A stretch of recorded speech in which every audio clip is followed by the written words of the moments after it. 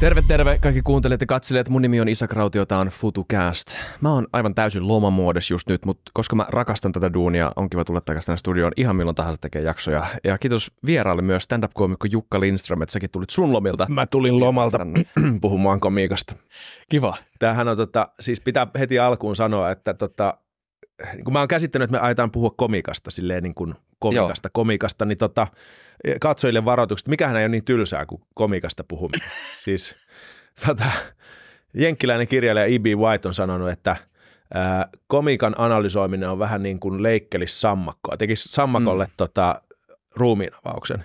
Että harvaa kiinnostaa ja tota, har, harvaa kiinnostaa ja, ja tota, sammakko kuolee siinä prosessissa. Me todella tosiaan puhutaan komiikasta tänään, siis oikeasti niin metakeskustelua siitä, että mitä on komiikka, mitä on sen tarkoitusperä, mutta mun mielestä tässä onkin kiinnostavia kysymyksiä nykyään. Komiikka kuitenkin, vaikka moni komikko sanoo, että komiikan ainoa tehtävä on naurattaa ihmisiä ja saada ihmiset unohtaa niiden ongelmat, niin silti jotkut koomikot pystyy avaamaan keloja. Tämä on mm. oma kokemus jotka on oikeasti vilpittömästi mun mielestä aitoja ja kiinnostavia ja muuttaa mun käsitystä maailmasta.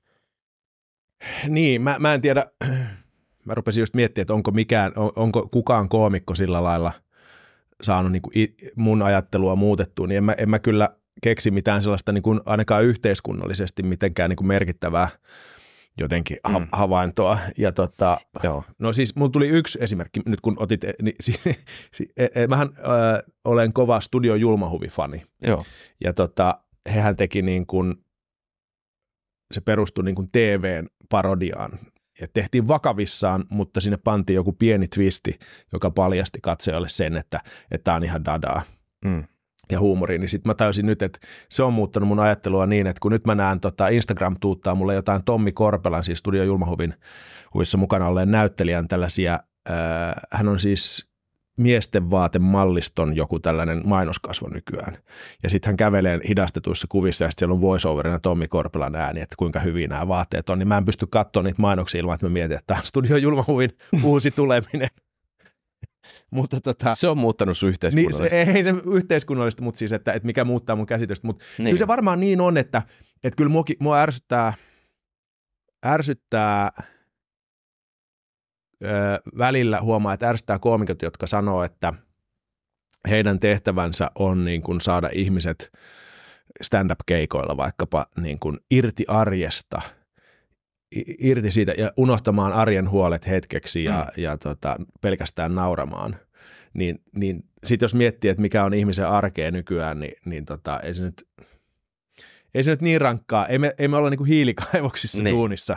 Tai jotkut on, mutta, tota, mutta aika harva. Että se on Tuntuu, aika, että aika... meidän arki on niiden asioiden unohtamista, mitä meidän pitäisi ajatella aika paljon, joo, vaan? A, joo, kyllä. Mm. Öm, ja sama, siis tosi samaa mieltä. Mä, mun mielestä on myös hyvä ja huono ilmiö, että koomikot on ainakin näennäisesti jossain, ehkä ei Suomessa niin paljon, anteeksi Jukka, mm. mutta sanotaan Jenkeissä, mm. Briteissä, mm. ehkä Anglomaissa. Ö, niillä on iso rooli, ja varmasti jossain muussakin, mä en vaan tunne niiden paikallista mm. komediakulttuuria, mutta siis, että niillä on iso rooli ö, ihmisten mediadietissä. Että siis ihmiset niin saattaa katsoa jotain Colbertia, mm. saattaa katsoa John Stewartia, saattaa katsoa tämmöisiä tyyppejä ja korvata ikään kuin sen Uutis. median niin, seuraamisen niin, niin, sitä kautta. Kyllä. Ja se on sekä hyvä että huono juttu, mutta ö, susta eka, ennen kuin mennään näihin niin kuin ihan Oota, mä palaan. Ota, ennen kuin, se palava, en, ennen kuin menet muuhun, niin tota, mä, mä, mä just, mulla ponnahtelee päähän noita ajatuksia, niin siis, että on, että kyllähän koomikolla on mahdollisuus jotenkin öö, saarnaamatta paljastaa jotain epäkohtia yhteiskunnasta ja parhaimmillaan se on, on, on sitä, mutta ei sen tarvitse niin koko ajan olla sitä, koska sekin Kyllä. käy raskaaksi. Mutta mä olin Singaporessa, mun broidi asui aikanaan siellä jo, joitakin vuosia, ja sitten me käytiin katsoa paikallisella klubilla tällä tota, stand-upia, ja siellä esiintyy tällainen koomikko kuin Sam C. Ja tota, singaporelainen kaveri. Ja tota, hän sitten jutteli yleisön kanssa siinä al- alusta, ja se oli kanadalainen porukka, ja siihen oli, Justin Trudeau oli just valittu, ja sitten, että Kanadasta terve, että teillä on uusi pääministeri, että te olette valinnut uuden pääministerin. Se sanoi, että hei, hold, hold on, ottakaa hetki, mun pitää selittää muulle yleisölle, että niin, singaporelaiset, siis demokratia on sellainen, jossa ne saa valita oman, oman johtajansa.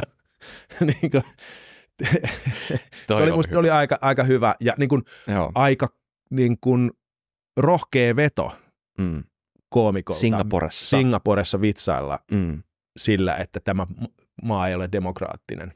Joo, ihan sika hyvä esimerkki. Mm. Niin mä luulen, että Suomi, Suomi on kuitenkin niin lässyn lässyn maa, siis hyvällä tavalla. Siis meillä ei ole mitään, meillä ei ole sananvapauden kanssa niin kuin ongel- me, me, mun ei tarvitse pelätä mm. niin kuin, ää, si, niin kuin mun ei tarvitse pelätä sanojani, joita sanon, tai vitsejä, joita teen televisiossa tai stand-up-lavalla. Niin. Ja kun sä sanot, että sulla ei ole ongelmia sananvapauden kanssa, ei tarkoita, että sä et saa Twitterissä vihaa tai sä et saa Twitterissä kommentteja tai painetta, mutta sä niin. et saa, niin kuin valtio ei tule viemään sua häkkiin. Kyllä, eikä, eikä, eikä, eikä sitten kyllä hirveästi tuu sitä palautettakaan. Okei. Okay. Ja sä et, sä et multikaan niin kuin profiloitunut mitenkään semmoisena niin kuin, um, tulikiv- tulikivän katkusena mm. pandit-koomikkona, mm. joka dissaa tasapuolisesti, sataprosenttisesti kaikkia puolia koko ajan jatkuvasti. Sä ö, piikittelet mm. ö, ja oot tosi hyvä satirikko, mutta niin kun sut ei tunneta semmoisena, joka niin kun suututtaisi. Niin, mä en tiedä liittyykö se sitten siihen, että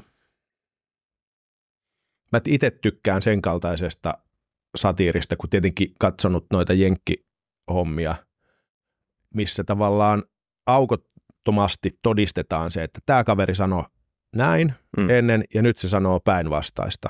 Mm. Ja sitten tehdään siitä vitsi. Niin siinä ei, tavallaan, siinä ei ole niin vastaan sanomista yleisöllä myöskään. Että kyllä, että esimerkiksi niin kuin nykyinen, nykyinen tota valtiovarainministeri sanoi ennen vaaleja, että kokoomus haluaa leikata kaikkein köyhimmiltä ja se ei meille käy. Mm. No nythän sitten toteuttaa kaikkein heikommassa asemassa olevilta leikkaamista, niin tavallaan tällaisen vastakkainasettelun näyttäminen, niin what can you do? Siinä ei tavallaan, että et mä tykkään siitä, että, se, että, ne, että ne on niin kuin vankalla pohjalla ne vitsit. Mm. Sun tausta. Mm-hmm. Se on kiinnostavaa. Sä oot aina ollut jotenkin sun ammattiuralla vaikuttaa sieltä ulkopuolelta katsottuna ainakin, että sä oot ollut ton niin komiikan ja yhteiskunnallisen kommentoinnin ö, rajamailla. Sä oot ollut toimittaja, ja sitten samaan aikaan, milloin sä aloitit komiikan? Milloin sun toimittajan mä, mä, mä, mä tuun siis tuolta tota, improvisaatioteatterista. Eli mä oon aloittanut improvisaatioteatterin tekemisen Tampereella joskus 2000 tai 99 tai näin. Tai itse asiassa ensin aloitin ihan lyhyesti Lappeenrannassa, mutta, tota, mutta sitten kun muutin Tampereelle, tai siinä Tampereella asuin, niin tota, tein sitä. Ja sitten mä päädyin Ylelle uutistoimittajan hommiin, Ylen radiouutisiin kesällä 2002, jos niin kuin kesätoimittajaksi. Mm. Ja sitten 2003 uudelleen kesätoimittajaksi. Sitten jäin, jäin sinne. Niin mulla oli tavallaan tällainen improvisaatioteatteritausta, joka on sitten taas hyvin erilaista kuin stand-up, mutta kuitenkin huumoria, Jep. mutta tehdään porukassa ja tehdään näyteltyjä kohtauksia. Näin. Ja sitten, koska mä, mulla duunit siirtyi Helsinkiin, mun opiskelu jäi vähän kesken ja se porukka, se improporukka jäi Tampereelle, niin tota, mulla ei ollut tavallaan kanavaa, jonka kautta tehdä sitä komiikkaa. Ja sitten mä päädyin, mä päädyin niin stand-upin pari vähän sillä sattumalta. Mä olin tykännyt Andre Wikströmin jutuista, mä olin nähnyt jotain, mutta mä en ollut ajatellut, että mä ehkä tekisin itse stand-upia. Mutta sitten mä törmäsin Eddie Izzardiin, joka äh, mun broidi antoi mulle vielä VHS-kasetin. Se, se oli siihen aikaan jo vähän harvinaista, että antaa VHS-kasetin, mutta oli tota Definite Article-niminen spessu. Ja sitten mä katsoin, kun Eddie Izzardin tyyli on, hän on siis brittiläinen ö, koomikko, silloin transvestiitti, nykyään trans, tota, mutta siis hänen tyylinsä on sellainen keskusteleva, improvisaattorinen. Se tuntuu mm. siltä, että hän niinku, vaan niinku tavallaan improvisoi itsensä kanssa. Sitten mä katsoin, että ei, tämähän jätkähän tekee niin kuin improvisaatioteatteria tavallaan yksikseen. Miten, ja puolitoista tuntia putkeen, että miten toi on mahdollista, kunnes mä tajusin, että ei hitto, että nuo jututhan on niin kuin etukäteen mietitty, niitä ne on etukäteen kirjoitettu, vähintään niin kuin ranskalaisilla viivoilla tai jollain. Mm. Ja sitten että, että miten, että, että miten toi tehdään? Mm. Ja rupesi kiinnostaa sitten, että miten mä, jos improssa aikaisemmin piti niin kuin näytellä kohtauksia, jotka vaikuttavat käsikirjoitetulta. Sehän on niin kuin improvisaation huippu, että miten noi pysty tekemään. Toi, toi oli ihan suoraan kuin jonkun näytelmäkirjailijan kynästä kohtaus. Ja ne täysin improvisoisin tuosta. Niin stand-upissa mua rupesi kiinnostaa se päinvasta, että miten joku pystyy kirjoittamaan niin, että se vaikuttaa täysin improvisoidulta. Ja näin mä päädyin sitten improvisaation, äh, tota stand-upin pariin ja mä tein ensimmäisen keikkani 2005 syksyllä. Mm. Rupesin, rupesin niin kuin harrastamaan stand-upia. Kohta 20 vuotta. Kohta 20 vuotta, joo. Wow. Tuntuu, tuntuu, siis itsestä tuntuu, sanottuna kuulostaa pitkältä, itsestä tuntuu lyhyeltä ajalta. Missä vaiheessa susta tuli hyvä? Kausien kästi. Mi, mä, mä oon kyllä niin itsekriittinen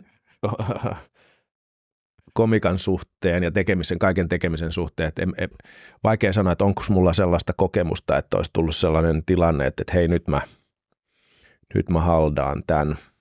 Jerry Seinfeld on sanonut jo, joskus, että, että, että five minutes of comedy is, five minutes of stand-up, it's not comedy. 20 minutes, mm. of, it's not comedy.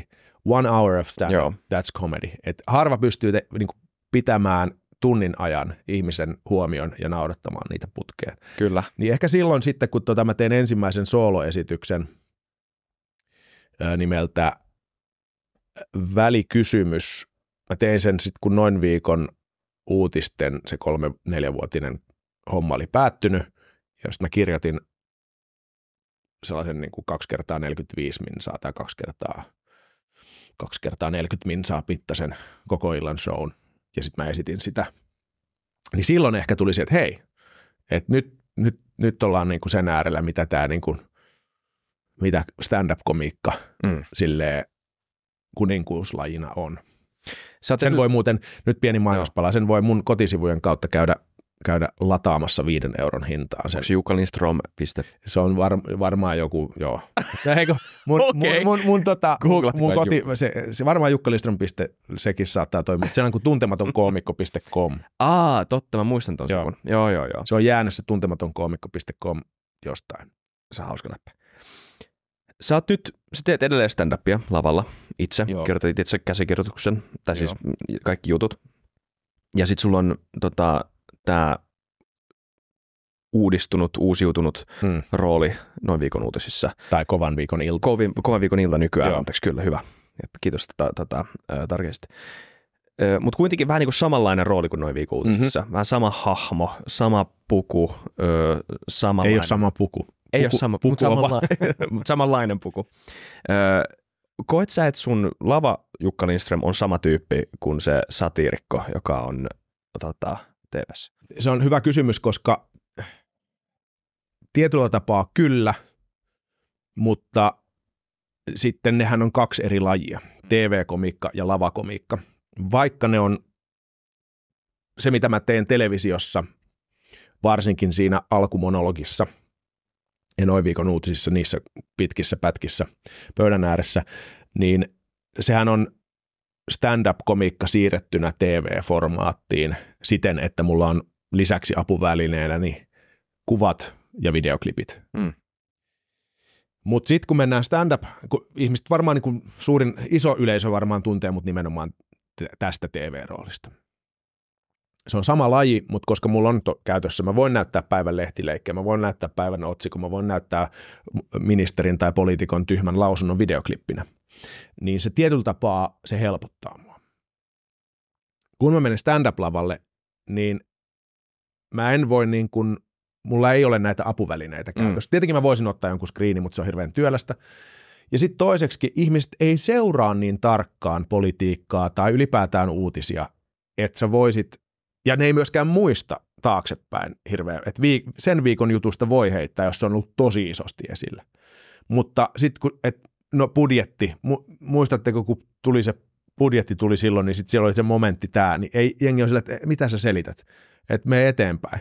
Että siinä on tällainen vaikeus ja että mä pystyn, pystyn TV-ssä olemaan niin kuin yhteiskunnallisempi, mm. poliittisempi, ajankohtaisempi. Stand-up-lavalla mä oon enempi niin kuin kerron ehkä niin kuin ajan hengestä – sit niin kuin omista tarinoista, jotka jollain tapaa saattaa niin kuin kuvastaa jotain yhteiskunnallista asiaa. Mutta mun on vaikea ottaa, niin kuin, tiedätkö, sen viikon juttuja lavalle, koska mm. stand-up on kuitenkin, se on enempi, se on tietyllä tapaa henkilökohtaisempi laji mm. ja, ja enempi sellainen niin kuin tarinankerronta. laji. TV-komikka on paljon nopeampaa, kaik, että se on, se on tosi sellaista niin kuin naks, naks, naks, naks, naks. Mm. Stand-upissa voi olla pidempiä tarinoita. Ja et siinä mielessä tällä tavalla erilainen. Et kyllä mä, ja mä mietin sitä, että jos ihmiset tulee niin TV-ohjelman perusteella katsomaan mm. mua stand-up-klubille, niin mä toivon, että en aiheuta pettymystä sillä lailla, että se ei ole se sama se ei ole se sama rytmi, se ei ole se sama kaveri. Mä en pidä pukua stand-up-lavoilla, vaan mä pukeudun niin kuin mä pukeudun arjessa ja niin poispäin. Mutta se on tietenkin täsmälleen sama huumorintaju ja sama ehkä katsontakanta maailmaa. Niin just, okei, kiinnostavaa. Just toista vikasta mä just kysymässä, että sulla on tota, stand-upissa, sä kirjoitat varmaan kaikki sun vitsit itse, mm. ja sä harjoittelet niitä itse, sä esität ne itse. Mm. Se on täysin susta syntynyt ja susta ulos tuleva mm. juttu. Mutta sitten tämä TV-ohjelma, sulla on niinku to, toki te olette konseptoinut sen ohjelman, mutta siinä on valmiit raamit, jotka on kapeammat, teillä on niin kuin yleisö, joka tietää, mitä ne tulee katsomaan, teillä on kir- käsikirjoitustiimi, jotka rakentaa sun ympärille sen niin kuin viikon, mm. ne viikon bitit. Mm.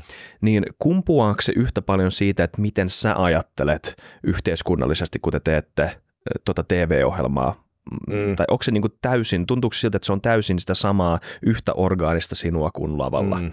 noin maailmankatsomuksellisesti? On se siinä mielessä, että en, en mä, san, mä en sano sellaista vitsiä televisiossa, joka on vaikka käsikirjoittaja Jaasir Geilin mielestä maailman paras. Ja mä sanon, että, mä, että toi on hyvä vitsi, mutta toi, että mä en pysty tekemään tota. Joo. Niin mä en sano sellaista vitsiä. Öö,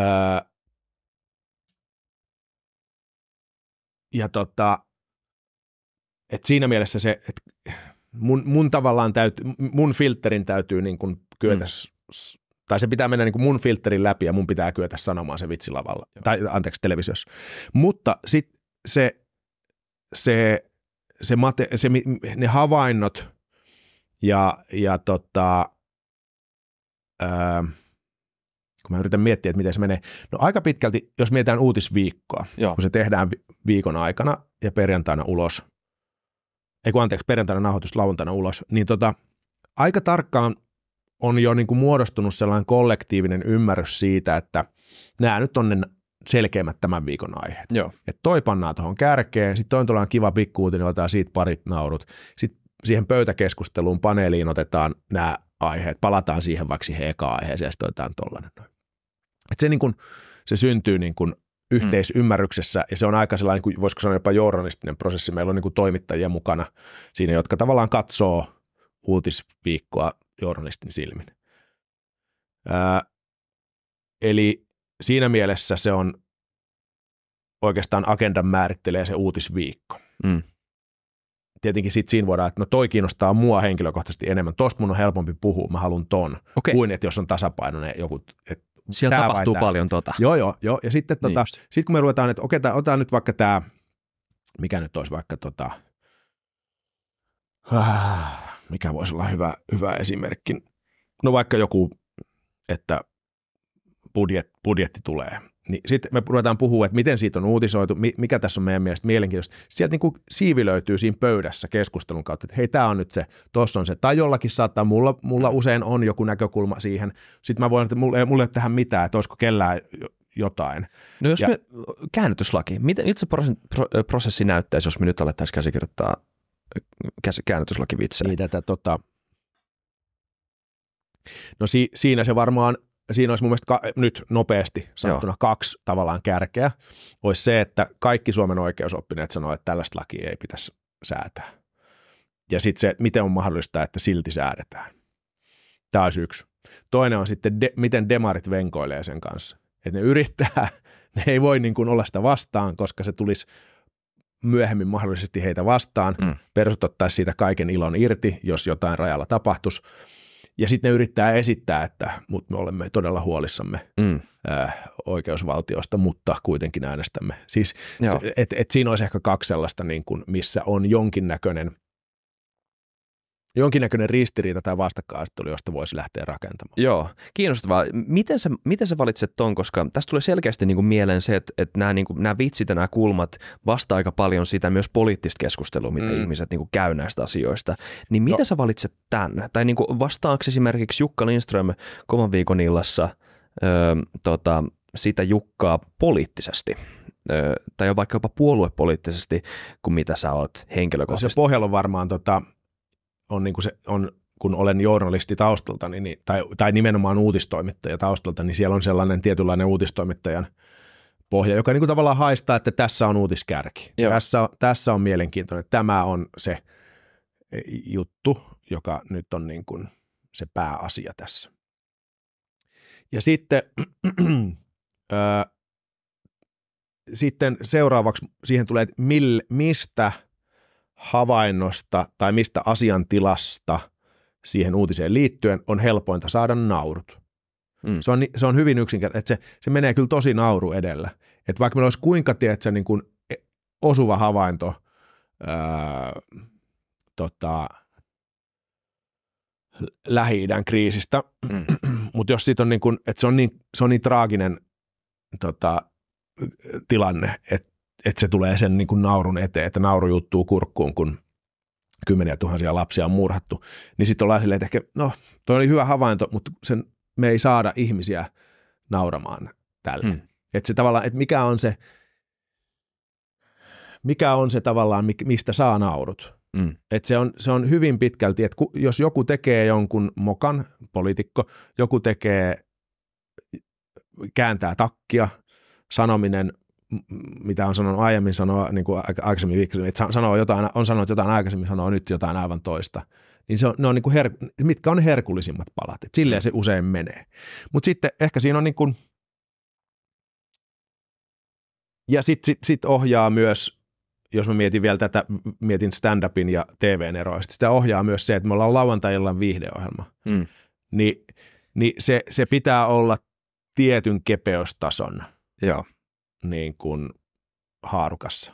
Kyllä. Et kyllä mä niin kuin stand-up-lavalla pystyn tekemään, kun se on late nightia ja se on niin kuin ihmiset tulee ulos ottaa pari bisseä, mm. niin siellä voi niin kuin olla vähän ronskimpi. Mm ja puhua vähän niin kuin karummista aiheista, vähän graafisempia, vähän kamalampia juttuja, jotain tä- tällaista. Kyllä. Mutta mä, mä en niin kuin...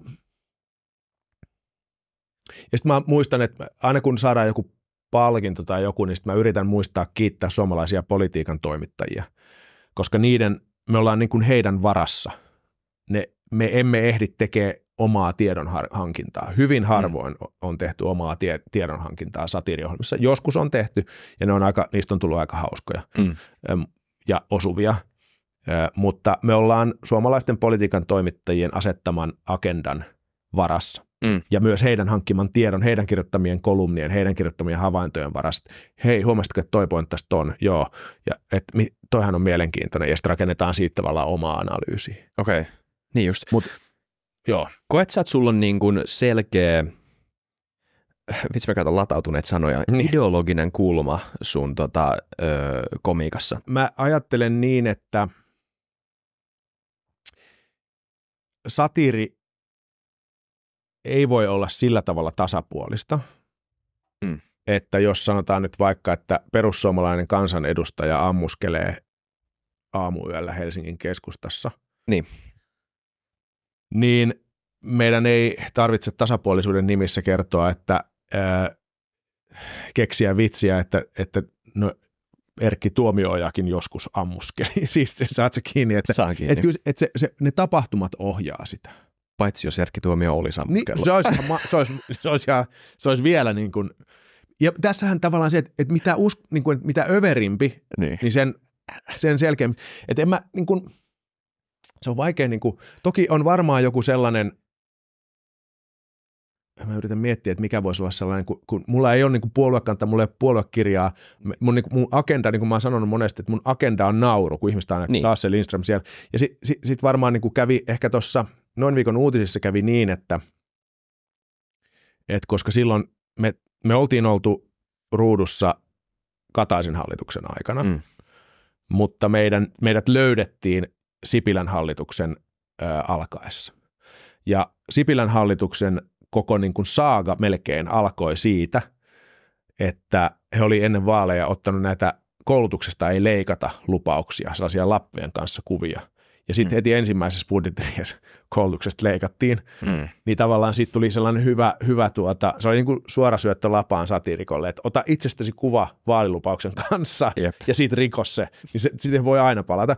Niin siinä varmaan tuli sellainen, että kun se oli niin kuin siihen saakka Suomen varmaan oikeistolaisin hallitus, ja sitten kun ne, siinä oli niin kuin, ja hahmot oli ihan mitä parhaimmat, siis tota, Sipilä, Soini, Stubbi al- alkuun, niin, tota, niin siinä tuli varmaan sellainen, niin kuin, ja mitä kaikkea he teki, so, ja sote-uudistus ja hallituskriisi ja kaikki, niin, tota, niin ihmisillä varmaan, että niin kuin, pahinta siinä oikeistohallituksessa oli, oli varmaan se, että ei se, että he tekivät oikeistolaista politiikkaa, vaan se, että, että kun, kun teki huumoria heidän hölmöistä päätöksistä, niin ihmiset luuli, että mä olen vasemmistolainen. Mm. Et se, sehän aina menee niin, että kenestä sä teet vitsin, niin ihmiset, a, se on toisella puolella. Just niin. Joo. Kun useimmiten itse on niin, että me ollaan maanantai, tiistai, tuolla niin kuin revitään hiuksia päästä, että vitsi kun ei ole mitään.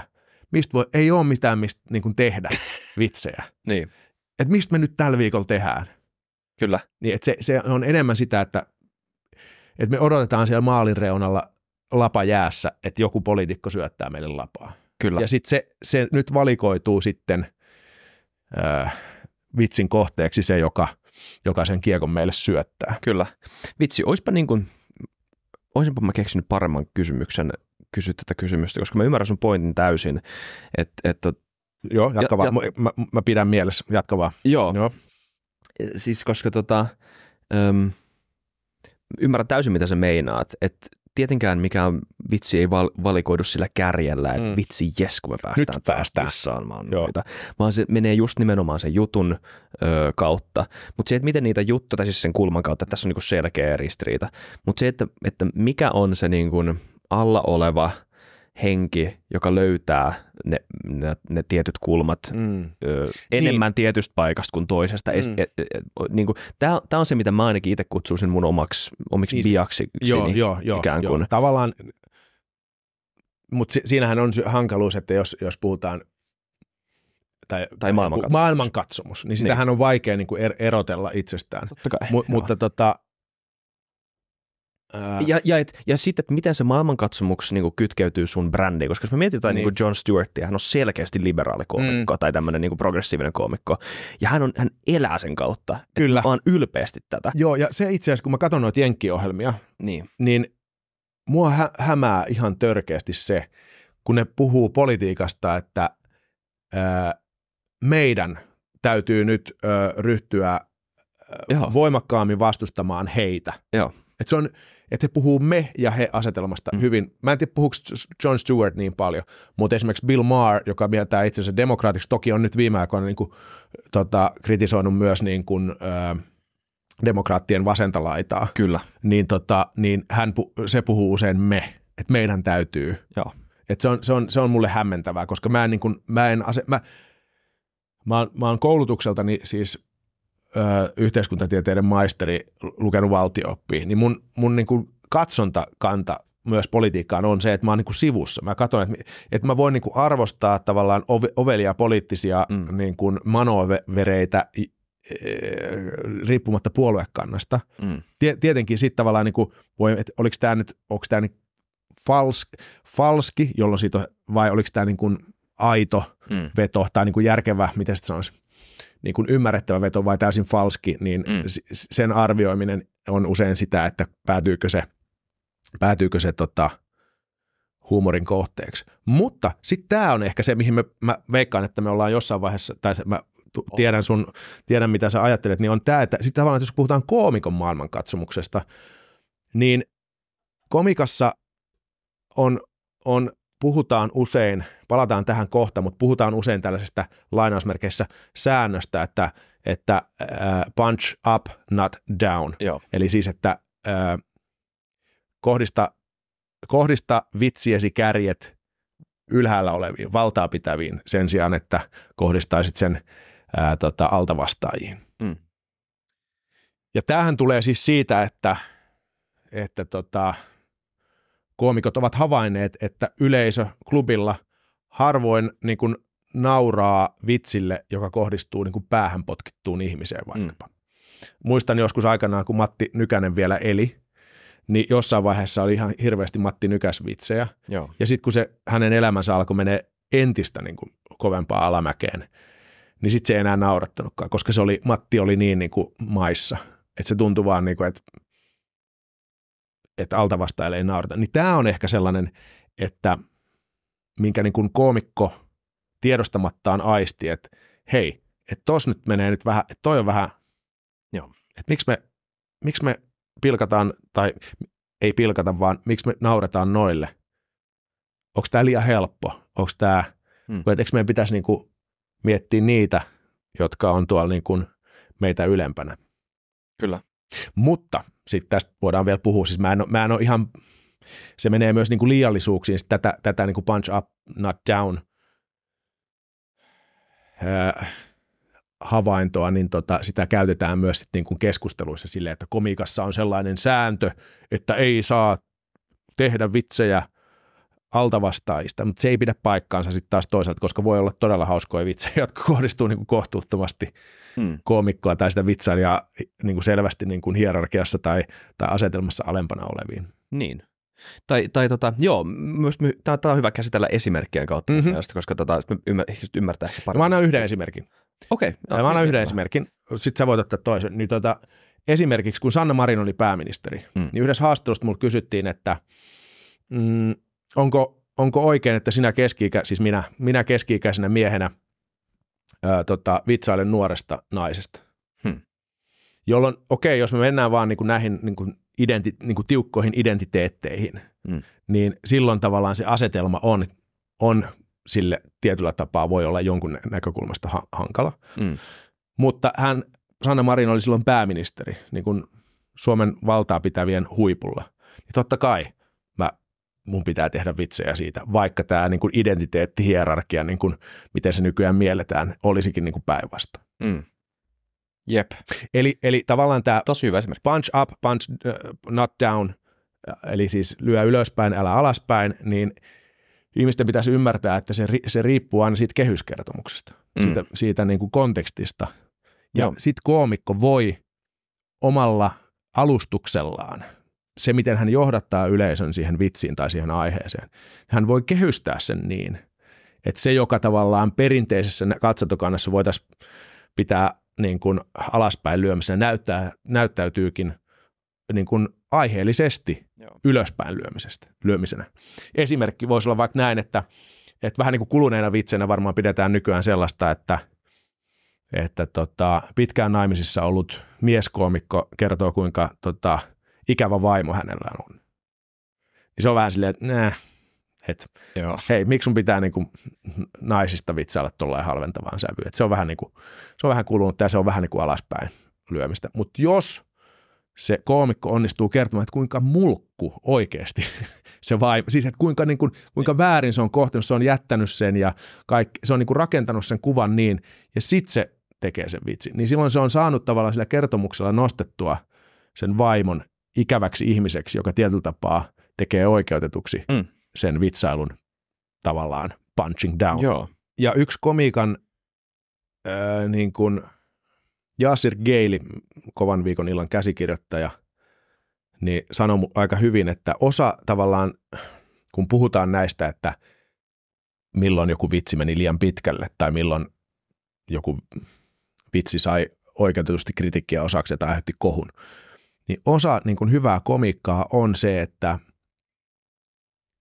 niin sanottu getting away with it. Niin. Siis eli, että pää, pää voi sanoa jotain kohtuutonta, mm. jotain överiä, joka muuten yhteiskunnassa tuomittaisiin. Mm. Mutta koska se on niin hyvin rakennettu se kuljetus ja se punchline, se vitsi, niin yleisö ei voi muuta kuin nauraa sille Joo. Ajatukselle. Musta Bill Burr Ja on tosi hyvä Bill tässä. Burr käyttää sitä tosi paljon. Se sanoo, se, se sanoo jotain täysin niin kuin, niin kuin, usein jopa setupissa saattaa Joo. Sanoa, eli vitsin aloituksessa saattaa sanoa jotain, että, että, että mä vihaan rescue-koiria. Ja sitten jengi se, häh? Mm. Että et koirat on söpöjä ja niin kuin vielä rescue-koiria vihaat, ja sitten se rupeaa niin kuin käymään sen läpi, ja sitten se tulee, ja sitten, aa, no joo, totta. Joo. Et voin, voin olla tuosta samaa, tai ei, ei samaa mieltä, mutta na, naurattaa. Mutta tässä tullaan tavallaan siihen, niin, niin siis vielä tarkoitan, että et usein niin kuin huonot koomikot, tai sanotaanko kokemattomat koomikot, mm. yrittävät tehdä vitsin jostain karskista aiheesta, ja yleisö ei naura – ja sitten on silleen, että nykyään ei saa enää sanoa mitään. Ei, sä et vaan osannut rakentaa sitä kuljetusta ja sitä vitsiä niin, mm. että yleisö olisi tullut sun puolelle ja nauranut sille karskille ajatukselle. Ja usein sitten vielä täytyy sanoa, että komikassa on kyse siitä niin kuin leikittelystä. Mm. Että useinkaan, vaikka koomikko sanoo niin kuin karskeja ajatuksia, pistää meidät niin kuin funtsimaan asiaa mm. jostain niin kuin täysin pöyristyttävästä näkökulmasta – niin usein me tiedostetaan, että se ei niin kuin ihan tosissaan sano niin, mm. vaan se leikittelee sillä ajatuksella. Musta tuntuu, että usein, nämä on ehkä empi jenkkikeskustelu, mutta ehkä joskus Suomessakin, mutta siis musta tuntuu, että usein unohdetaan se, että koomikot ovat siellä lavalla niin kuin le- leikki, leikkimässä, leikittelemässä. Joo. Että on alettu niin kuin samaistaa politi- äh, anteeksi, koomikoiden niin kuin stand-up-spesiaalit jossain Netflixissä tai HBOlla niin kuin joskus poliittisiksi ideologisiksi ohjelmiksi. Jep, joo. Tai statementeiksi. Ja se, se on niin kuin vähän hö, höhlää, koska äh, niin kuin, se on itsestään selvää, että, että koomikot yrittää niin kuin houkutella sen yleisön johonkin tiettyyn – leikittelyyn jonkun ajatuksen kanssa. Mm. Mutta tota, mun mielestä tuossa Neil, Neil Brennanin on, on, on tota jenkkiläinen koomikko, jolla on useita, useita stand-up-spesiaaleja Netflixissä, niin tota, tämä viimeisin ää, Crazy Good, taitaa olla sen nimi, niin tota, ää, siinä hän sanoo hyvin, että, että mitä se kertoo meidän ajasta ja meidän yhteiskunnasta. Me ollaan niin kuin – otetaan joku poliittinen kiistakysymys, ja sitten mä sanoin, että hei, onko kukaan kysynyt, että mitä nämä clownit on tästä mieltä? Niin kuin, että me ollaan niin menty siihen, että, että mitä nämä pelleet, mitä nämä koomikot, nyt meidän pitäisi kuulla näitä koomikoita, mitä mieltä ne on niin kuin, mm. niin kuin, tota, transihmisten oikeuksista. Niin kuin, mitä vitun väliä, mitä, mitä mm. koomikot on mieltä siitä. Niin. Loppujen lopuksi asia, Loppujen kyllä, lopuksi. kyllä. Joo. Mutta se, se ehkä johtuu sitten taas tämä, että me ollaan alettu tarkkailemaan koomikoiden, tai ehkä ei Suomessa, mutta Amerikassa enemmän, mutta se vuotaa tietenkin omaan itsellä oma ajattelu, kun seuraa sitä aika paljon, niin, niin tota, se, että, että sitten taas komiikasta tai tietystä, tietty, tietyistä komiikan keinoista on tullut myös politiikan väline, mm. politiikan tekemisen väline. Eli poliitikot käyttävät ää, rinnastuksia, vertauksia, liioittelua, varsinkin populistit käyttää. Me, ei, ei tästä ole kauaakaan, kun tota, kansanedustaja rinnasti eduskunnassa vitsillä ulkomaalaiset vieraslajeihin, jotka pitäisi tuhota. Mm. Ja se, sit se, sitten eduskuntaryhmän puheenjohtaja Ville Tavio sanoi, että no se oli vitsi, ei kovin hyvä vitsi, mutta niin kuin huonoistakin vitsistä loukkaantuneiden, niin, niin tota, joko, niin, joko he on tosikkoja tai liian politisoituneita. Siis että tavallaan, että, että koska poliitikot... Mikä vitsi tuossa on edes? Mä, sepä mä tiedän, se, sepä se, sepä niin. se, mutta siis se on myös tapa niin kuin – Kännissä ja läpällä. Kännissä ja läpällä kyllä, siis, kyllä. eli se oli läppä. Joo. Niin tota, niin, mä olin sanomassa sitä, että, että kun, kun että politi- poliitikot ovat alkaneet käyttää näitä ja varsinkin populistit ovat alkaneet käyttää näitä ympäri maailmaa niin, tai, tai tiettyjä komiikan keinoja, niin, tota, ää, niin myös, myös sen, mä veik- tämä on nyt oma ajatus, että, Joo. että mä uskon, että sen takia myös koomikoiden ää, puheisiin on alettu kiinnittää entistä enemmän huomiota. Mm koska tunnistetaan tavallaan samankaltaisia, hei, että näähän niin kuin käyttää niin kuin samankaltaisia keinoja tai, tai, tai samankaltaista retoriikkaa. Mutta siinä on ero, ja tämä mun mielestä ihmisten pitäisi ymmärtää, että poliitikolla on ta- poliittiset tavoitteet, ja sen puhe viittaa aina niin kuin hänen siihen politiikkaan, mitä hän haluaisi ehkä tehdä. Mm. Ja koomikoilla ei ole. Mm. Koomikoiden agenda on naurattaa sitä Naura. yleisöä. Toki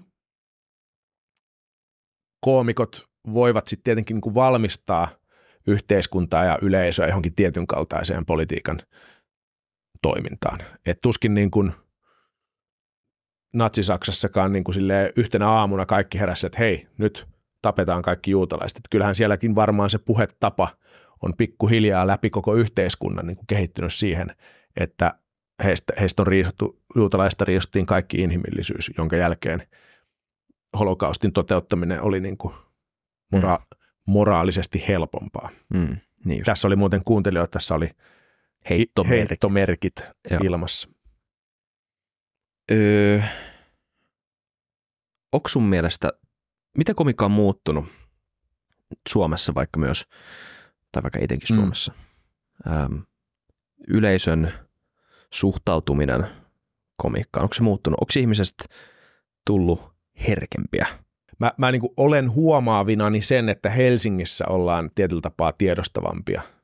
Että tota, nauretaan, että, että maakunnissa nauretaan niin kuin, ää, miten sanoisi, raikuvammin silleen niin kuin rajalla meneville jutuille. Mm. Et Helsingissä osa on silleen, että hmm, saako mm. tolleen, voiko tolle nauraa? Mm.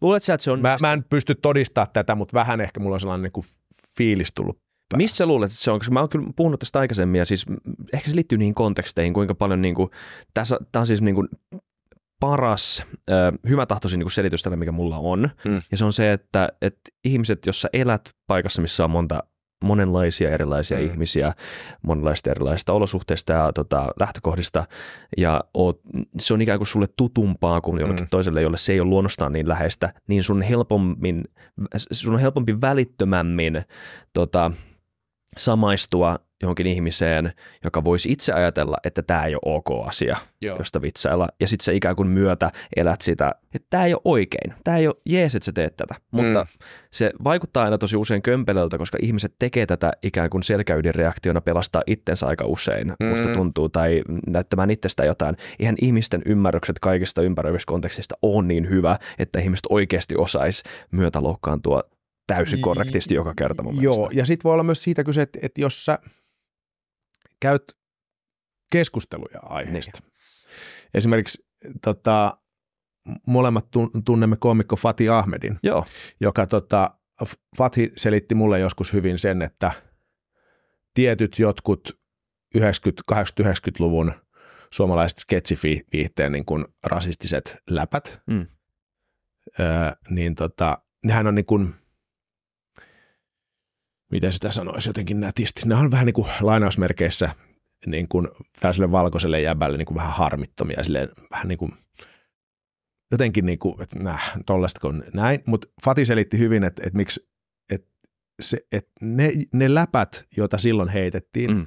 niin antoi sellaista nokkeluutta – hänen tietyille koulukavereille, joilla ei ollut sitä älyllistä kapasiteettia niin kuin kuittailla hänelle mm. tätä, joko ei rasistisesti tai rasistisesti, mutta sitä kautta he niin kuin sai niin kuin välineet niin kuin, tota, pilkata häntä. Hmm. se on, niin kuin aika, no, se on niin kuin, ja se, se, se niin kuin itsellä kanssa niin kuin herätti sen, että totta, että, että niillä, jotka tekee vaikka telkkarin huumoria, mm. niin niillä on tietynlainen vastuu, että mihin niitä läppiä sitten niin kuin siellä koulun pihoilla käytetään.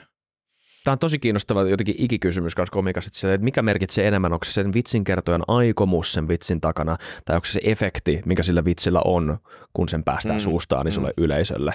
Että joku saattaa sanoa, joku Ricky Gervais sanoo tosi usein, että ei, ainoa merkitystä on se, että mitä mä sanoin. Että jos mä mm. tarkoitan tätä tällä vitsillä, se, että joku väärin ymmärtää sen, niin mitä väliä sillä mm. on. Se ei ole mun vastuulla, se ei ole mun syytä. Mutta sitten moni muu sanoo mun mielestä ihan niin kuin oikeutetusti sen, että tota, sulla ei ole enää kontrollia siitä vitsistä sen, mm. kun sä päästit sen ulos. Että joku sun pitää ottaa kaikki se väärin ymmärrys ja vaan hyväksyä se. Mm. Ja sitten jos siitä seuraa jotain tosi pahaa, niin ihmiset saattaa vetää johtopäätöksiä mm. siihen, että okei, tämä oli aika suora vihjaus, että tästä on täysin hyvä, jos mä keksin tähän esimerkin. Ehkä yksi esimerkki, minkä mä keksin tähän, tämä ei liity komiikkaan suoraan, mutta tämä tulee tota, tämä on asia, harvoin koomikko kertoo niin ison vitsi, että koko kansakunta, koko maailma alkaa puhumaan siitä, että oliko tämä ok tämä vitsi. Mutta mm. yksi tämä niin samanlainen tapahtuma, joka vähän selittää tätä esimerkkiä, on, on EM-kisojen aikana, kun nämä kaksi, kolme hollantilaista fania piti mm. sitä Ruud Hullit Joo. maskia päällä. Että ne oli laittanut niin kuin blackfacein ja afro-perukin päälle. Joo. Ja sitten meni sinne tota, Et aikomus vs-efekti mun mielestä. Siis mun mielestä ne on molemmat täysin oikeassa ne ihmiset, jotka väitti sekä, että nämä tyypit varmaan jotain perustyyppejä, jotka ei sen enemmän miettinyt. Ne kaikki fanittaa Rurhullit ja niin. ne ei tehnyt mitään stereotypioita jostain niin kuin kokonaista etnisyydestä, vaan ne imitoi yhtä ihmistä, Joo. Niin kuin henkilöä nimeltä Rurhullit, joka Joo. on ihminen niin kuin hekin. Ja sitten Rurhullit sanoi itsekin, että tämä on hänelle kunnia-asoitus, mua ei sinänsä niin kuin kiinnosta tämä muu. Mm. Mutta toisaalta, et mun mielestä he on oikeassa. Mutta mm. he on myös oikeassa, jotka sanoo, että kun sä päästät, kun sä meet EM-kisoihin, kaikki maailman kamerat on sussa, tämä menee ulos maailmalle, tämä, että sulla on niinku tämmöistä päässä, niin se ei ole ainoa konteksti, missä ihmiset tulee ymmärtämään tämän välittömästi se, että millä aikomuksella sinä menit tonne mm, stadionille mm. tällä, vaan, vaan ihmiset ympäri maailmaa tulee näkemään vaan sen mm. kuvan ja tulee vetämään siitä johtopäätöksistä, että tulee herättämään eri.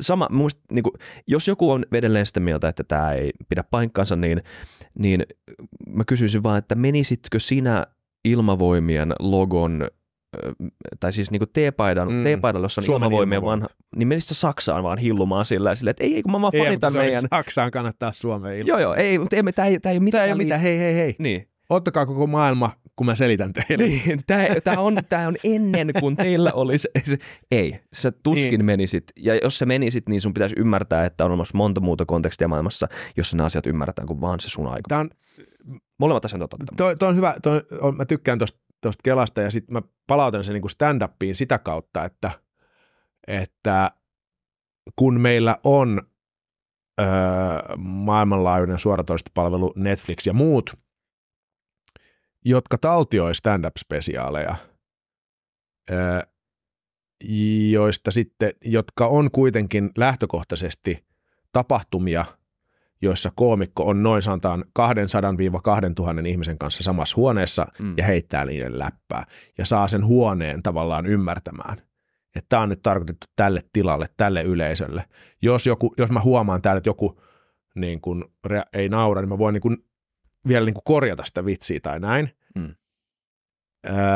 Mutta kun se sitten taltioidaan ja tuutataan niin kuin miljoonaan maahan niin, ja miljoonille katsojille, niin tota – se menettää jotain, se komiikan, niin kuin se, se huon, sen tilan, sen teatteritilan tai klubin konteksti tavallaan katoaa siitä. Ja sitten usein, kun syntyy joku, joku tuota, ää, kohu vitsistä, mm. niin sehän on sitten niin yksi, että hän sanoi näin ja hän sanoi näin, jolloin ne on niin kuin rivin tai kahden mittaisia lainoja siitä koko showsta. Mm jolloin tullaan just tämän, tämän äärelle. Mutta siinä tapauksessa mun mielestä – pitäisi niin kuin mennä sen alkuperäisen teoksen äärelle ja katsoa se kokonaisuutena mm. ja sitten muodostaa se kuva siitä mm. vitsistä ja siitä kontekstista ja, ja sanoo mielipiteensä sen tak- se, sitä kautta. Mm. Mutta sitten, niin, mutta onko se aina mahdollista, niin ei, ei, ei välttämättä. Ei, internet on vaan niin. Niin kuin kokoelma ihmisiä, joille sä et voi ikinä mennä selittämään sitä, joo, niin kuin, mutta joo. jotka kuitenkin pystyy näkemään sen. Ja, sen, ja sen takia stand-up on parasta livenä. Joo. Eli me, menkää katsomaan joo. stand-upia livenä klubille, koska se siellä nauraa niin kuin eri asioita, siellä ymmärtää sen myös sen leikin, että tämä on nyt tällä, tämän huoneen sisällä tälle porukalle. Sä lähetit mulle ihan sikahyvän New Yorker-artikkelin ennen tätä tota, haastattelua, jonka mä luin. Se oli tosi hyvä. Voin laittaa linkin tämän jakson kuvaukseen. Ole hyvä New Yorker, että saatte ehkä uusia lukijoita. Mm.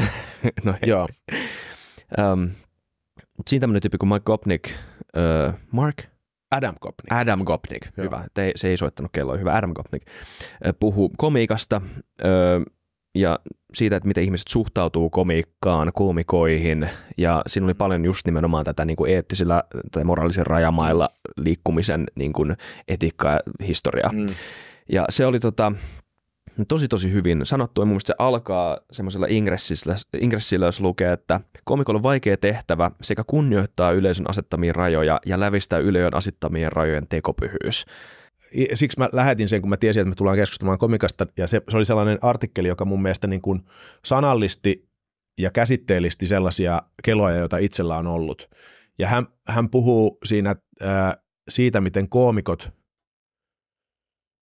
ää, liikkuu tietynlaisessa niin kuin ra, rajatussa tilassa ää, niin kuin aidon pointin ja niin kuin karskin liioittelun välillä. Ja se on lähellä tota, mitä sä, mitä, mistä tuossa Ingressissä puhuttiin. Eli siinä on tavallaan nämä kaksi asiaa on samaan aikaan läsnä komi, koomikon jutuissa, mun niin kuin jutuissa. Varsinkin niissä, mitä sä sanoit, että sä tykkäät, että viedään niin kuin jonkun sellaiselle äärelle, että ei vitsi, että saako tälle edes nauraa. Joo. Niin tota, eli siis varsinainen niin kuin aito havainto, aito pointti Mm. ja, ja karski överi liioittelu. Se, se niin kuin, jolloin, jolloin yleisö tavallaan ostaa sen pointin, mutta tajuu, että on äärimmäistä liiottelua ja toi, toi koomikko ei ehkä ihan ajattele näin, mutta aika mielenkiintoinen, mielenkiintoisen ajatuksen Mm. äärelle sehän meidät vei. Ja sitten naurun kautta se purkautuu, se jännite siitä, että ei hitto saaks näin ajatella. Mm. Esimerkki siinä artikkelissa Kopnik ottaa mun mielestä erinomainen esimerkki sitten siitä, että komiikan ja politiikan eroista. Chris Rock 2008, ää, muistaakseni 2008 julkaistussa spessussaan Shoot the Messenger, niin tekee vitsin, koska silloin käynnissä siis Obaman ja John McCainin välinen vaalikamppailu. Ja hän oli tietenkin Obama, Obaman puolella ja haukku McCainia niin kuin into piukeena. Ja sitten se tekee sellaisen vitsin, että, ää, että, tota, että okei se on sotasankari, mutta se jäi vangiksi. Se jäi sotavangiksi, niin kuin jäi John McCain jäi sotavangiksi. Että mä tykkään niistä jäbistä, jotka niin kuin pääs pakenemaan. Mm. Et, et se niin kuin tavallaan riisui John McCainin sotasankaruuden Mm. vitsin varjolla.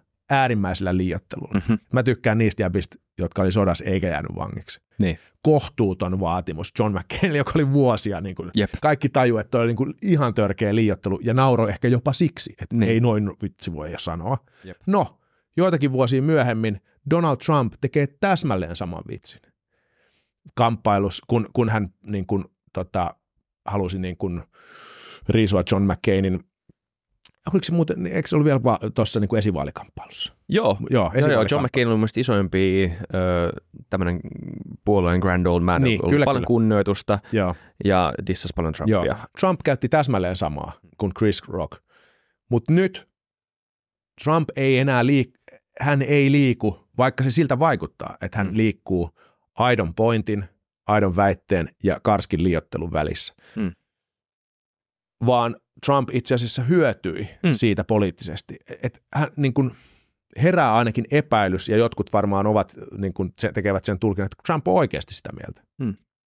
Voi olla, että se leikittelee, mutta se, mutta, mutta se hyödyttää häntä poliittisesti. Mm. Ja tässä on mun mielestä se poliitikon ja koomikon ero. Että kun me katsomme koomikkoa, me tiedetään, että se liiottelee, se leikittelee.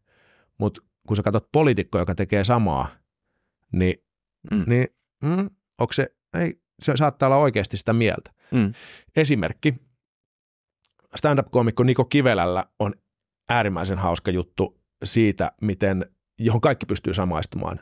Kaupan kassalla mummo on sun edessä, joka rupeaa laskemaan niitä pennejä tai rupeaa jotain niin kuin arpoja ostaa. Sä oot ei jumalauta, se, miksi, miksi sen piti just tulla tähän mun eteen, kun nyt kun mulla on kiire. Ja sitten hän kertoo siitä, niin kuin siitä, siitä turhautumisen tunteesta ja sitten se päätyy siihen, että vitsi, että tekisi mieli niin kuin murhata se mummo. tekisi mieli tappaa se mummo, kun se vie multa aikaa. Se on, ja se on, se on äärimmäinen liiottelu, mutta mm. kaikki pystyy samaistumaan siihen tunteeseen. Mm. Kun Niko Kivelä sanoo tämän stand-up-klubilla, se on ihan äärimmäisen hauskaa. Mutta mietti, jos vaikka Antti Lindman Niin. sanoisi sen jossain, kaikki on se, että what the fuck. Niin. Et mi, ja, ja tämä on musta niin kuin, Sä et ole sellainen ihminen, niin, joka sanoo, mä haluan alkaa Niin. tulkitsemaan tällä Niin. tavalla. Joo. tai, tai, tai kuka nyt on, siis sosiaali- ja terveysministeri Kaisa Juuso Niin. sanoisi, joka, jolle niin kuin vanhustenhuollon asiat kuuluu, niin eihän se voisi tehdä. Mutta mut jostain syystä Trump Jenkeissä on onnistunut tässä, että hän voi niin kuin sanoa asioita, jotka on niin kuin övereitä, mutta sitten me joudutaan arvot, onko se oikeasti tota mieltä. Mm. Ja todennäköisesti se on oikeasti sitä mieltä. Joo. Toi on tosi jännä. Joo.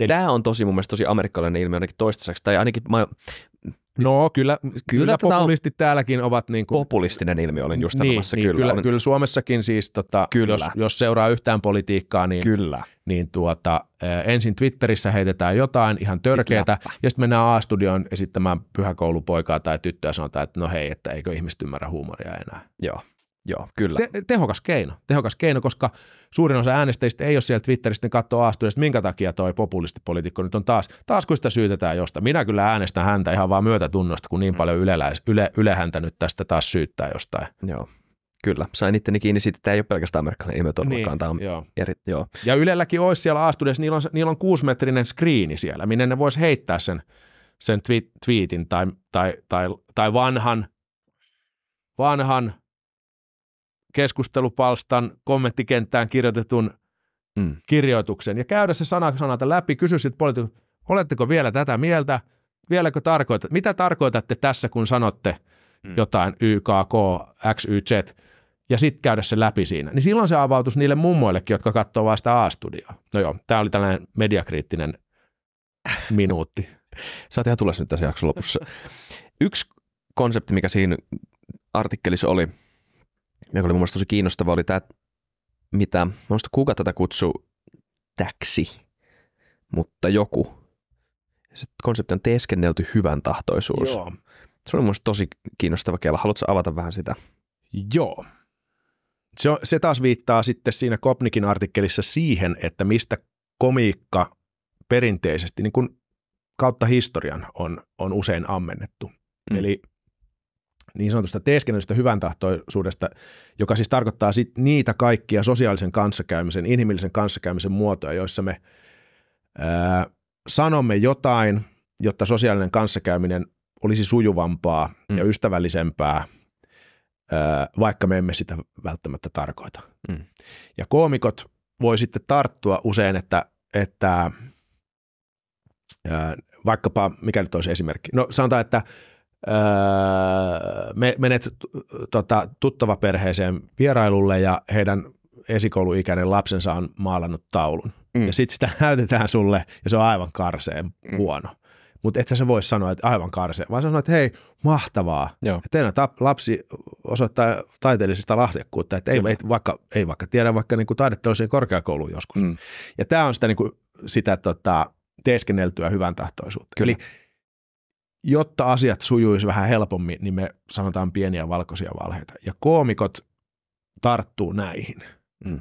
Ja sitten Kopnikin pointti siinä artikkelissa musta oli niin kuin hyvä, jota en ollut itse tullut ajatelleeksi. Hän, hän kirjoittaa näin, että se mitä nykyään kutsutaan niin sanotusti wokeiksi, Mm.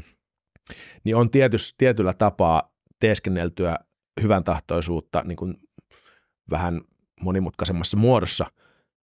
Eli että jos nyt vaikka, niin kuin, että, että olla, äh, on tultu siihen tulokseen, että, että tota, mikähän nyt olisi hyvä esimerkki, no vaikka N-sanan käyttö, Me puhuttiin just tästä Joo. N-sanasta aikaisemmin. Joo. Että, et, Musta hyvä et, on huoma- huomattu, että hei, tä- tätä sanaa on käytetty niin kuin ihmisten äh, niin kuin nimittelyyn ja pilkkaamiseen ja alistamiseen, Mm. niin tota, ei käytä sitä enää.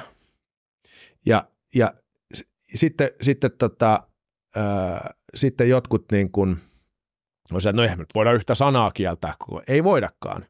Ja tästä ja tästä tullaan tavallaan siihen, Joo. siihen tota, eh, mistä sitten syntyy eh, komikkaan liittyviä kohuja on usein, kun koomikko tarttuu tällaiseen aiheeseen, Kyllä. ja, joka on tavallaan, että, että meidän hyvän tahtoisuus ehkä niin kuin, he haluavat paljastaa jonkun hyvän tahtoisuuteen liittyvän valheellisuuden. Meidän hyvän tahtoisuus johtaa aika absurdeihin, absurdeihin tilanteisiin Kyllä. välillä, niin kuin tämän N-sanan suhteen, että meillä nyt on, mekin sanotaan koko ajan tässä aikuiset ihmiset sanotaan N-sana toisille, Mm. me koko ajan, vaikka me tiedetään, että meidän, niin kuin, me, vaikka me sanottaisiin se, niin se ei olisi pahan tahtoista, Mm. mutta me tiedetään, että siinä on syy. Musta ainakin tuntuisi tosi inhottavalta sanoa tässä Niin. podcastissa, mä en missään tämmössä halua, eikä mä halua sanoa mun siviilissä, siviilielämässäkään, mutta onhan se myös hölmöä, että on olemassa semmoinen tilanne, että, että, että maailmassa on semmoinen ikään kuin Voldemort-juttu, Mm. mitä sä et voi niin. ikään kuin sanoa, ja se on se niin kuin hauska absurdius siinä, vaikka samalla sä tunnitsat sen, että tälle, että se on ihan syystä, syystä näin. Niin. niin. Ja, ja siinä on ristiriita. Siis on siinä on ristiriita. ristiriita. Joo. Ja se, ja se on se ristiriita Se on hauska. koomikoille. Joo, ja sitten yksi, et va- vaikka niin kuin, öö, öö, kysymykset transsukupuolisuudesta, johon esimerkiksi Ricky Gervais ja Dave, David, Dave Chappelle on tarttunut, niin, niin tota, he, hehän puhuu nimenomaan siitä, että hei, että tota, meillä on ihmisiä, jotka haluaa korjata sukupuolensa, mutta hei, nehän on kuitenkin, niin kuin, eikö ne ole kuitenkin niin kuin, mm. si, niin, et, mm-hmm. sitä, mitä ne on niin kuin biologiselta sukupuolelta, mikä tämä juttu on, ja ne, ne leikittelee sillä. Mm. Ja sitten jonkun, joidenkin mielestä niin kuin on sitten sitä mieltä, että hei, että toi ainoastaan vahingoittaa Joo. näitä ihmisiä, jotka on muutenkin niin kuin tukalassa asemassa. Kyllä. Ja, ja sitten näistä syntyy näitä tavallaan pieniä, pieniä tota, komiikkaan liittyviä taisteluita tässä kulttuurisodan aikana. Eli se, että esimerkiksi ton, mulle nyt tuu mieleen mitään n rutiinia, mm. joka no, niin tulee. Paljon, tuleeko? Jossa, okay. jossa sitä käytetään. Se Chris Rockin? Öö, no siis, mutta se, se, Siinä ei se, ole. Se ei, ei vaan tuossa, tota, öö, toi, toi, toi, öö, eikö toi, toi, toi Louis C.K. tehnyt joskus N-wordista niin kuin, että hän vihaa sitä. Kaivakaa YouTubesta löytyy mun mielestä Louis C.K.'n rutiini siitä, että se vihaa tota, tota, sanaa N-word, koska, niin. se, koska, joo, koska joo, televisiossa kyllä, kun juontaja käyttää, että joku ja joku käytti N-wordia, niin se, pistää, se ei itse sano sitä, mutta se pistää sen aktuaalisen sanan hänen pään, ja sitten se päätyy lopulta niin, että, että mun mielestä, mä en muista menikö se niin, että lopuksi se niin kuin käyttää sitä niin kuin itsestä. Okay. Niin, ja, se, se, ja siinä siinä ajassa, siinä tilanteessa Louis C.K. mun mielestä onnistaa kuljettamaan meidät sen äärelle. Joo että hän saa tavallaan yleisöltä luvan käyttää sitä sanaa. Loistavaa. Mä en muista, että käytettiinkö siinä sitä, sitä lopulta, mutta tota, se oli musta, siinä on niin kuin hyvä, hyvä kela siitä, juuri tästä ää, ää, teeskennellystä tai valheellisesta hyvän tahtoisuudesta. Mm. Hän niin kuin purkaa auki sen, että, että tämä on kuitenkin tavallaan aika falskia. Niin. Vaikka samalla... Samalla hän ymmärtää, niin. että ni, miksi niin toimitaan. Kyllä. Tai ainakaan niin, että sitä, sitä, sitä, niinku, koska jos se pointti, jos jompikumpi näistä ristiriidan puolista, jos, ne, jos, ne, tota, jos niitä ei otettaisi huomioon, niin sitten ihmiset pitäisi sitä tyhmänä huomiona. Niin. niin. Kyllä, kyllä.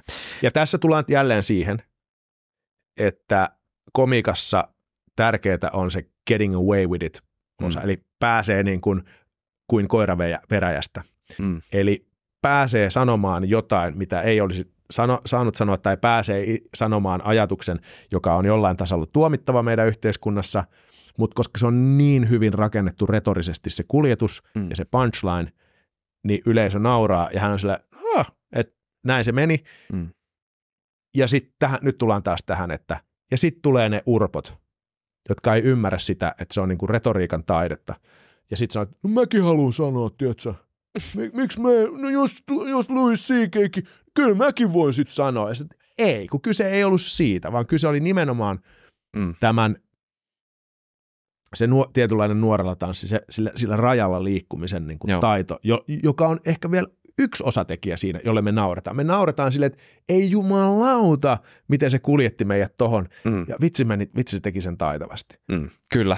Miks, miksi tota, miksi komikoiden tai miksi kenenkään ylipäätään pitäisi paljastaa tämmöisiä teeskenneltyjä hyvän tahtoisuuksia, vaikka ne olisi teeskenteltyjä, ne on kuitenkin hyvän tahtoisuuksia mm. ja ne ylläpitää jonkunnäköistä sosiaalista kohesiota ja ne on, kuuluu kuitenkin käytöstapoihin. Monet teeskennellyt hyvän tahtoisuudet on ihan niin kuin osa meidän normaalia käytöstapoja. Miksi tehdään näin? Koska se on, koska se on hauskaa ja, ja äh, kaikkihan ne sellaiset eivät ole mitenkään niin kuin jonkun kulttuurisodan kiistakapuloita. Mm. Siis eli äh, viittasin siihen kassalla, että kuinka paljon ärsyttää hidas vanhus, niin, niin meitä naurattaa siinä vitsissä se, että, että tunnistaa sen tunteen ja, tun, ja sitten on paljon koomikoita, jotka kertoo siitä, kun ne on saanut pieniä, niin kun tullut isäksi tai äidiksi, ja kuinka raivostuttavia niin kuin pienet lapset on. Joo. Ja et, sehän menee siihen, että tekisi mieli, niin kuin, vitsit on sitä tasoa, että tekisi mieli hylätä se lapsi ja niin kuin, hmm. tekisi mieli vaan niin kuin, ja mitä kaikkea. Niin koska sellaistahan ei niin kuin sano. Koska se niin kuin, sitä... hyvän tahtoisuus on siinä vanhemman pitää sanoa, että se on muuttanut mun elämän ja niin, ihanaa ja niin. joka päivä on niin kuin joo, lahja. Kyllä, joo. Jo, jo, että, jo, ja just, just tavallaan se, että eihän se jossain niin kuin mikä Efter Niussa tai Maarit Tastulan haastattelussa sanoisi, että ja niin, ja sitten 2018 sinusta tuli isä. Joo, ja vittu mun tekisi mieli tappaa ne lapset. Sä voit sanoa niin, jep, mutta stand-up-lavalla sä voit, Kyllä. voit sanoa tämän. Ja itse Mike Birbiglia, stand, jenkkiläinen stand-up-komikki, sillä on erinomainen vitsi tuossa stand-up-spessussa nimeltä The New One, jossa hän kertoo, miten hän, hän sai ensimmäisen lapsensa Mm. Vaimonsa kanssa. Ja sitten siinä on niin kaunis kohtaus, on kerrottu puoli tuntia ensin ja sitten ollaan siinä synnytyksen hetkessä ja sitten ja sit se lapsi syntyy ja, ja minun vaimosta tuli äiti ja minä pysyin suurin piirtein samanlaisen. että musta ei tapahtunut mitään muutosta. Että just tämä, että odotus Joo. on se, että kaunein hetki, minusta tuli isä, ei, mä pysyin suurin Se piirtein sama juttu. samanlaisena. Jep. Ja sitten sit se jatkaa siitä, että, että isyys alkaa vasta sen jälkeen pikkuhiljaa, kun se lapsi on sun Mm. sylissä ja sitten sä alat kasvattaa sitä ja näin. Mm. Mutta se oli niin kuin hieno ju, just, just tämän kaltainen, että miksi näistä, koska, koska se on, kysymys oli, että miksi näistä valheellisesta tai teeskennellystä hyvän tahtoisuudesta tehdään, pitää tehdä huumori, on se, että, että se ensinnäkin se on hyvä huumorin lähde, Se on mut, hauskaa. se on hauskaa, mutta myös se saattaa niin kuin jotain niin kuin vapauttaa meissä. Se voi, Mm. siinä, sillä voi olla joitakin hyötyjä, niin kuin, ah, joku muukin ajattelee noin. Mm. Tai että ah, mun ei täydykään olla täydellinen isä tai mun ei täydykään olla täydellinen äiti. Että ah, nämä niin kuin Mm. la, pientä lasta kohtaan tun, tuntemat negatiiviset tunteet paikoitellen, niin onkin, ah, ne onkin ihan no, niin kuin, että normaali ne vaan pitää niin kuin diilaa Joo. ja nauraminen on yksi tapa diilata ne niiden kanssa. Se on jotenkin hyvä tapa resotoida ajattelua, koska aika usein musta tuntuu, että me tuudittaudutaan niihin tapoihin nähdä maailman eri asiat, koska Kyllä. ne on mukavia tapoja, ne toimii, Mm. mutta on hyvä kuitenkin muistaa, että on eri tapoja Mm. nähdä. Plus sosiaalisen median aikakaudella meillä on, me ollaan tavallaan koko ajan jotenkin katseen alaisina. Me koko ajan presentoidaan sitä Joo, niin kuin hyvää minu, eh, minuutta ulospäin. koko elämähän on periaatteessa teeskennelty hyvän tahtoisuutta. Sä et Niin. ikinä mainitsi niitä hulluja ajatuksia, Niin, mitä niin. sulla tulee kesken päivän. Kiellettyjen ajatusten, kielleiden, kiellettyjen tunteiden niin kuin pukeminen jollain tavalla niin kuin hauskasti, Mm. jotta se naurun kautta niin kuin, tota, naurun kautta tota, saadaan niin kuin ulos systeemistä, niin si- siinä se varmaan lienee. Jep. Mutta sitten on näitä, näitä tuota, poliittisia sovelluksia, jossa sitten niin kun, mä, mä niin kun edelleen mä, mä niin kun toivoisin, että ihmiset ymmärtää niin kun poliitikon vitsailun ja koomikon vitsailun eron. Siihen mä, Joo. niin kun, siihen mä niin kun palaan aina niin kun myös itse ajatellessa, että koomikon agenda on nauru, korkeintaan ehkä niin kun lipunmyyntitulot. Sitä ehkä koomikko niin kun ajattelee. Mm. Ja sitten taas poliitikko ajattelee sitä, että minkälaista politiikkaa hän pääsisi ja pystyisi mahdollisesti ajamaan. Kiitos Jukka. Kiitos, tämä oli mielenkiintoista. Kiva, että sä tulit sun lomelta tänne. Joo. Mennään takaisin lomailemaan. Hyvä. Kiitos katselijat, kiitos kuuntelijat. Nähdään ensi jaksossa. Moido. Tämän podcastin tuotti Munk Studios.